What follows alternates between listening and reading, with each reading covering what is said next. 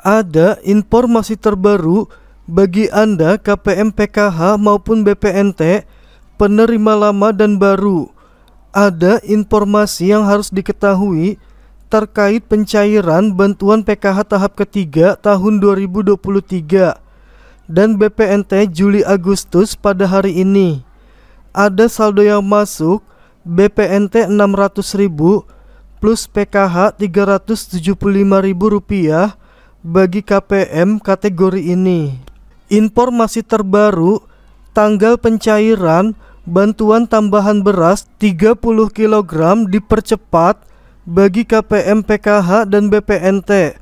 Perintah langsung dari Pak Jokowi. Assalamualaikum warahmatullahi wabarakatuh.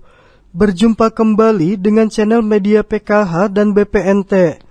Channel yang khusus memberikan informasi bansos baik PKH, BPNT, bantuan PIP, dan sebagainya.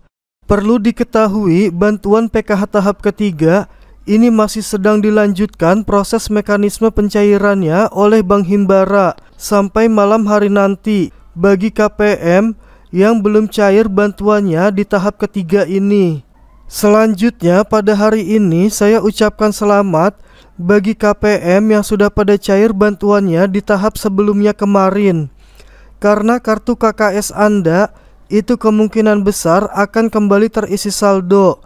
Kemudian perlu diketahui proses mekanisme pencairan bantuan sosial ini masih sedang dilanjut dicairkan pada hari ini sampai malam hari nanti. Dan berikut update pencairan bantuan sosial yang sudah terpantau cair pada hari ini. Alhamdulillah Cirebon Kota, Kelurahan Lemah Wungkuk udah dapat undangan dari PT Pos pengambilan hari Selasa. Nah, ini ada saldo yang masuk sembako BPNT Rp600.000 dan PKH-nya Rp375.000.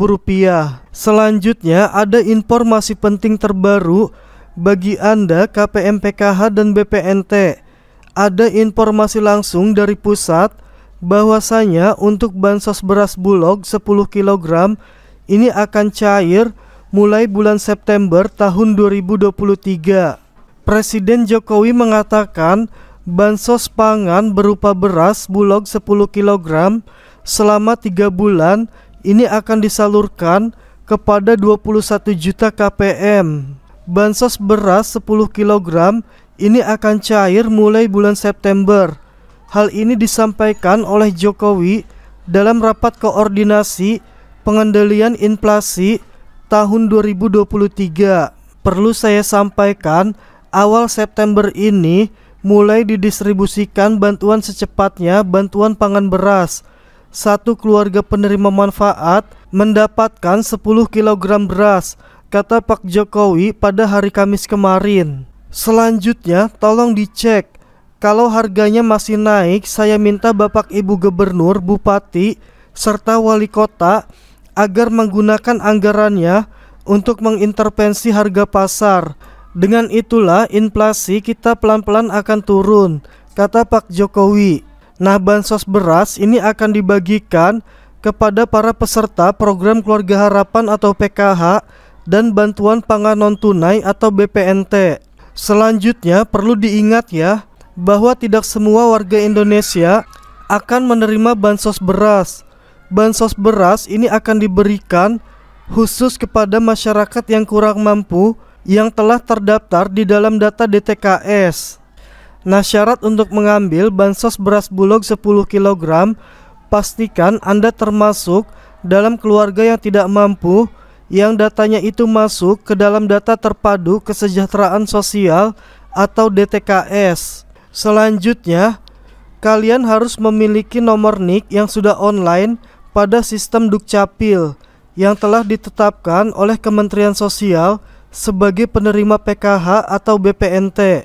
Nah, selanjutnya, penerima bansos beras dapat membawa atau menunjukkan fotokopi kartu tanda penduduk atau KTP Penerima membawa fotokopi kartu keluarga atau KK. Nah, selanjutnya syarat yang terakhir, penerima bansos beras bulog 10 kg ini harus memiliki undangan yang diberikan oleh pihak PT Pos.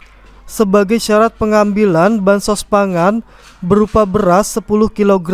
Nah, jadi itulah syarat-syaratnya ya untuk membawa atau mengambil bantuan beras 10 kg dari Bulog. Saya harapkan bantuan Anda dapat lancar cair dan undangan dari PT Pos dapat segera diantarkan ke rumah Anda. Bagi sobat media PKH dan BPNT yang belum subscribe, silahkan tekan tombol subscribe-nya ya dan like-nya jika dirasa bermanfaat. Nah, demikianlah informasi di kesempatan kali ini.